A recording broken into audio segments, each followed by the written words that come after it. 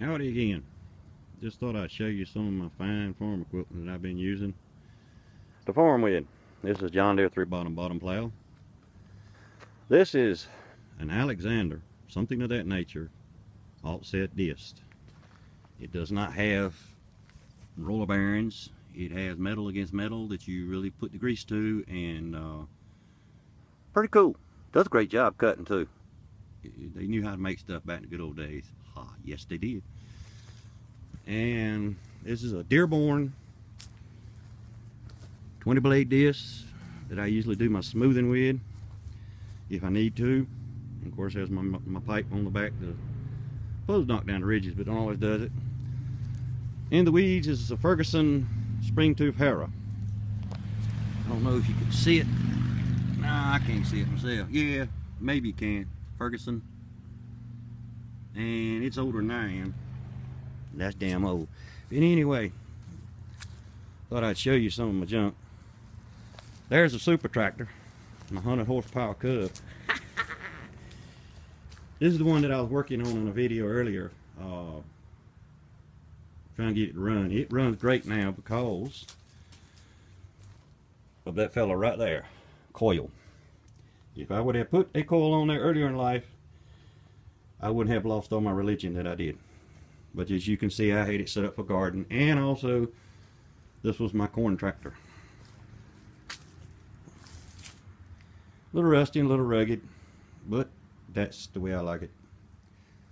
Anyway, and wheelbarrow. Homemade chisel plow, so to speak. Too much junk on it to see what it really looks like. I would move it, but it might be a wasp nest, and I'm allergic to the bad boys, so I will not bother them by means. This is my shop. This is where I work on stuff. Um, these poles that you see here are poles where we used to hang stick tobacco on back long ago. Yes, I've got a hole in my roof, and I can't get up there to fix it, but I'll get there one day. Somebody will.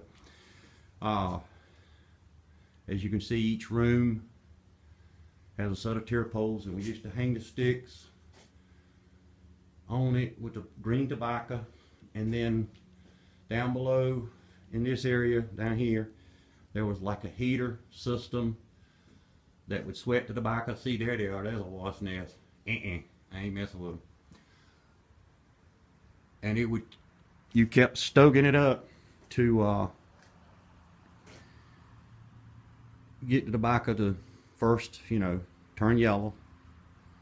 Then you put some air on it to dry it out. And then you kept stoking it up some more to get it good and hot and dry it, dry it completely out all the way to the stem. And of course then you took all the sticks out and pulled strings, put them in sheets and carry them to the market. And this is the family 1020. The tractor's been here since 1966. Daddy and my uncle bought it brand new back in 66, back when they were big time farmers. They had 4020s and a 3020 and a 1020 and I just thought maybe a little shot of thing. Yeah, it looks like an Oliver because of the color. Uh, pretty cool. You can call it the Oliver Deere. Anyway this is the cultivator I was using. It's a noble Danish tine. And then there's my other cultivator that I use too as well. It's a Ferguson stiff leg that's what I call it. You know 28 inch rows. And of course under the green tarp there's my 71 flexi planters. And of course I'm not going to take them off because you never know who might live in there. If there's any questions whatever feel free to drop me a, a word or two and uh, thank you for watching and see you later bye